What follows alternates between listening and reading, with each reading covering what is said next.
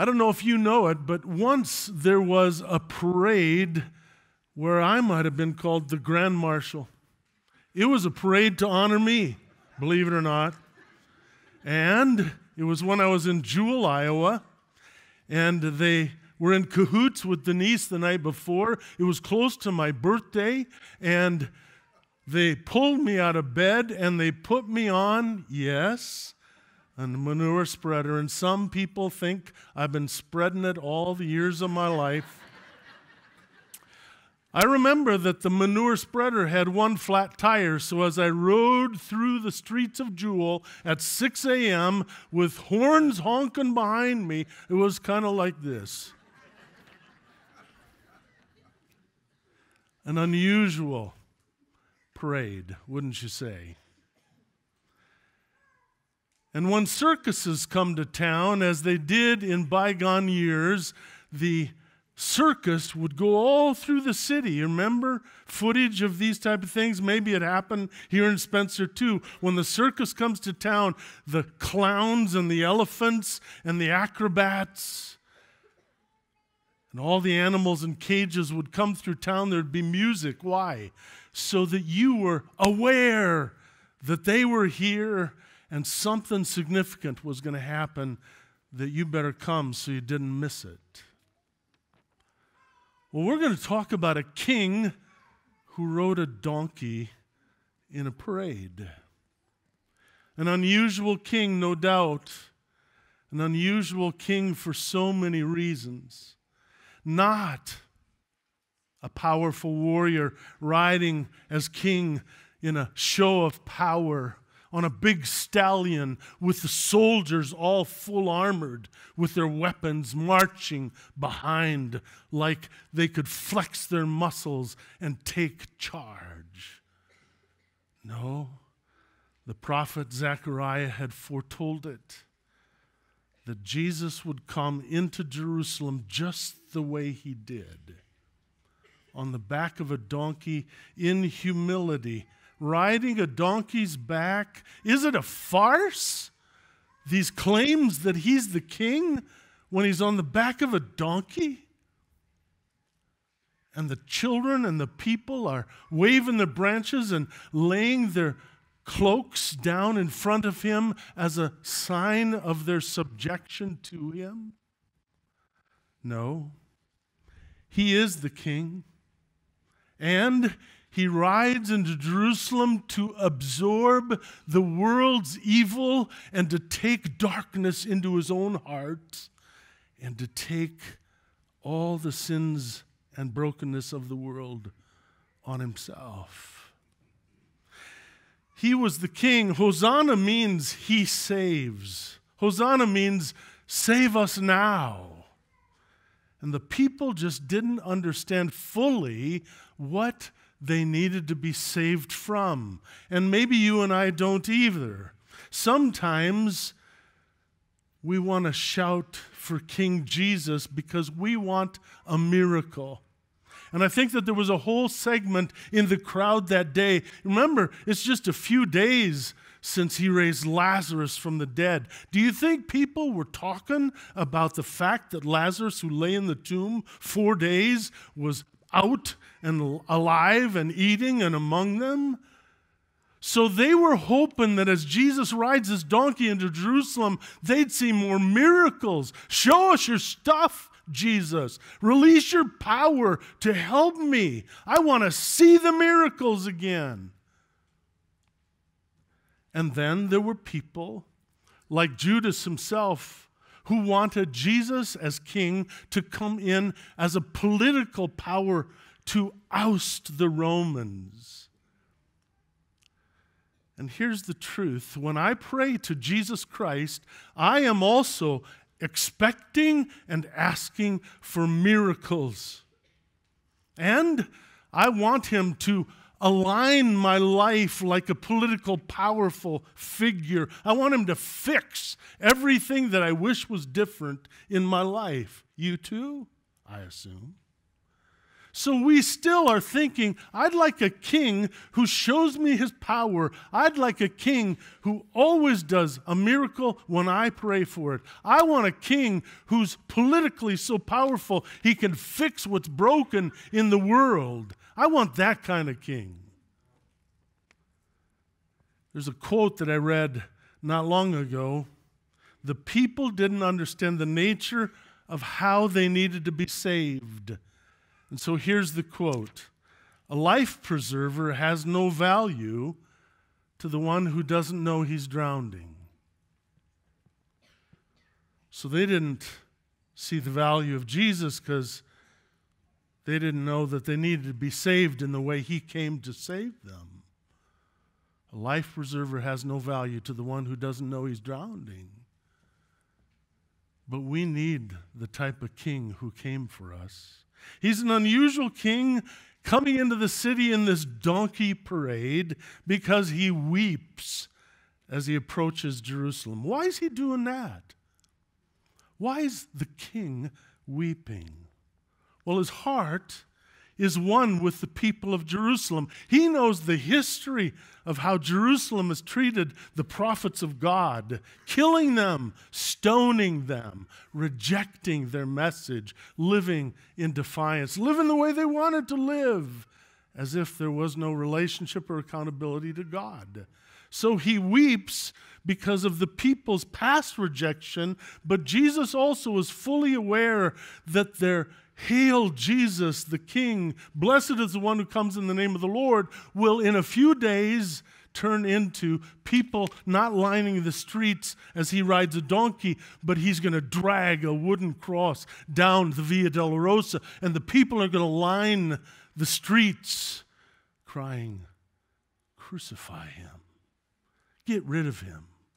He isn't the kind of king we want. Crucify him.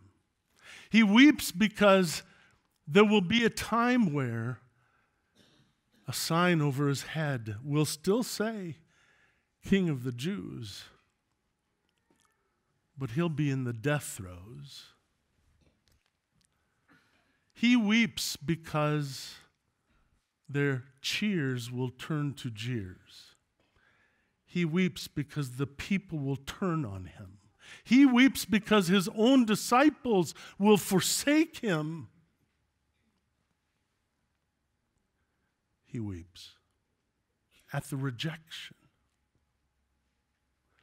And still today, 21st century, 2100 years later, I believe Jesus Christ still weeps as his arms are open but people in our culture and in our world treat Jesus like he's irrelevant. Life preserver has no value unless you understand you're drowning. And he weeps that they would reject the love that he freely offers. And how many times do you and I approach each day living as if Jesus doesn't exist? So our king weeps. But we know also that he kneels down and washes feet. He takes the posture of a slave. He's a servant who washes feet. His power is upside down. He stands power on its head, and he uses the full extension of his power to serve you, to wash you. I like what Luther says about Jesus' entrance into Jerusalem. He says he's a God with knuckles. Listen to his quote. The king rides into Jerusalem to extirpate sin. I'll get back to that weird word in a minute extirpate. He rides into Jerusalem to extirpate sin, to knock death's teeth out, to gut the devil, and rescue all who believe in him from sin and death. So he's riding in to prepare for battle, and Luther's saying he's going to throw an unexpected right hook to death, and he's going to take care of death, knocking its teeth out by dying himself. So, why should you and I praise this king in the donkey parade still today? Why should you and I still offer the Lord Jesus the praise he deserves. And I'm going to ask for your help so that each time I give you a reason, I want you to say with me, All hail King Jesus. Can we try that? Get your palm branches out, and on the count of three, let's try it. One, two, three.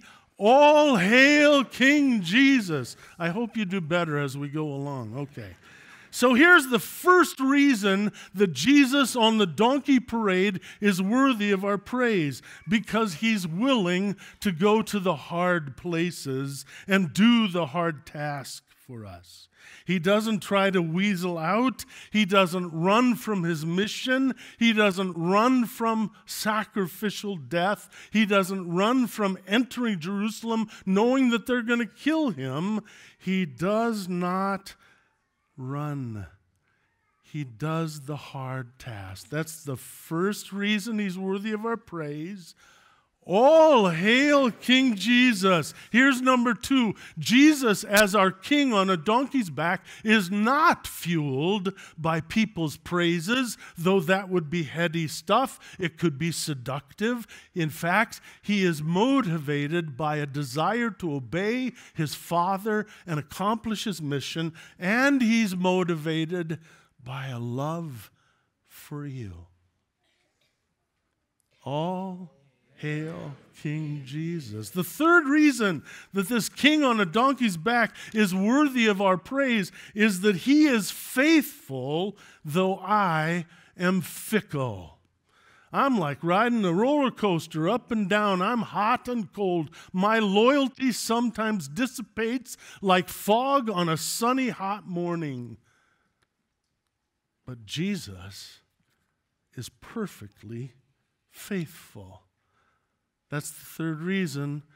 All hail King Jesus. Here's the fourth one. King Jesus riding the donkey's back is not repulsed by my failure. He doesn't look at me ever and say, That's it, Laaveg, one too many times. I'm sick of your pathetic weakness. I'm tired of all your attitude. I'm sick of the disappointment that you never measure up. I'm done with you. He is not repulsed even when I am so imperfect. Remember Peter, his disciple? He made these bold professions over and over again about his undying loyalty that he'd never desert him, he'd die for him. But what happened to Peter? He denied him, he failed. And yet Jesus looked at him in love and said, Peter, I'll build the church upon you. That's the fourth reason we praise him.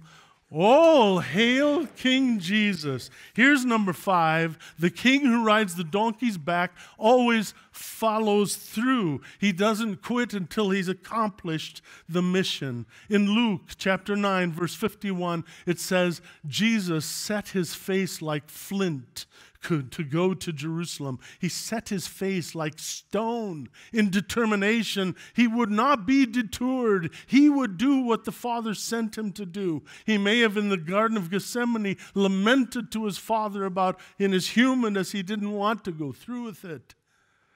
But we know that he hung on the cross and said these very words It is finished. That's why he's a king on a donkey's back who deserves our praise. All hail King Jesus. Here's number six, if you're counting Jesus the King keeps every promise. I love the paragraph in Second Corinthians chapter 1 verse 20. It says, "Every promise of God is yes in Jesus Christ." Will you say that with me? Every promise of God is yes in Christ is Christ, Christ Jesus. Isn't that beautiful? You should write that one on your mirror. Every promise that God has made to us is fulfilled and completed and will be kept and will be granted, and the blessing will come. That's the sixth reason we praise this King. All hail King Jesus. You're running out of gas. I hope I finish before you. Here's number seven this king riding the donkey's back. He sacrificed his power and his privilege and his life for our personal need. The measure of a king's greatness is whether the king's manner of ruling is good for the subjects in the kingdom. This king, who rode the donkey's back,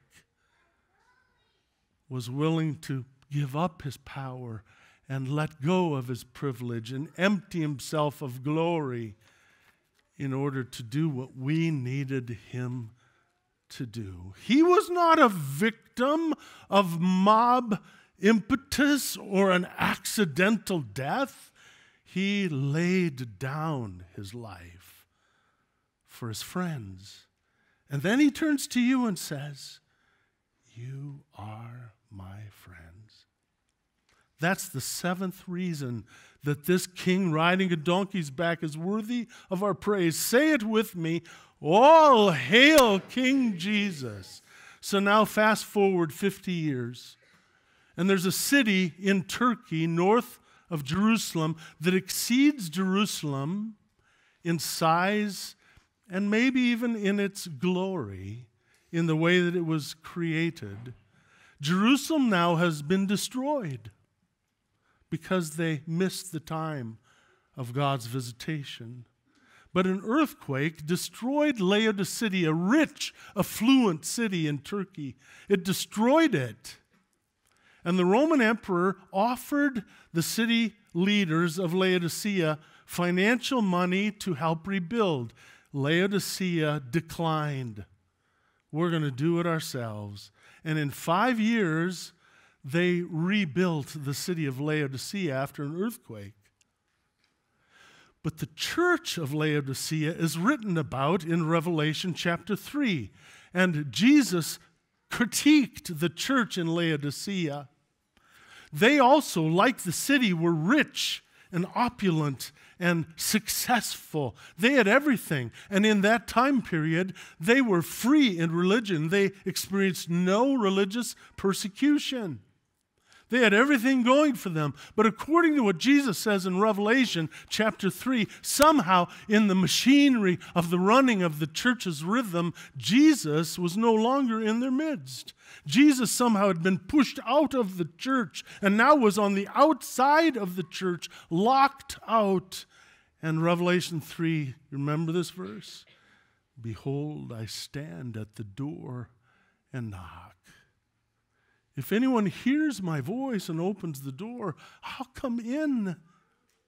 They had lost, as the church, they had lost their intimate connection with Jesus himself, and the Spirit of Jesus was no longer welcomed within their midst. So, Jesus now, what a hard image. We talk about it in terms of inviting Jesus into our hearts, but the truth is, in Revelation 3, it's really talking about Jesus standing outside his church, a church once where he was vibrantly alive and at work, and begging to be able to come back in. You see, it's always possible that the cheers turn to jeers. It's always possible that in our flawed expectation and understanding that we become disillusioned with God or we disconnect ourselves from the one who is, in fact, the king that we need. And so I want to end this morning by saying to you this king who is worthy of our praise still comes in love and knocks on the heart door of every one of us and says, I love you. Can I be your king? Because if you'll open the door, I'm going to come in and we'll be together as friends. We'll walk together and I'll live in you and through you and I forgive your sin. That's why I came and I'll keep every promise. And we, the people of God, say, Say it one more time with me. All hail King Jesus. Amen.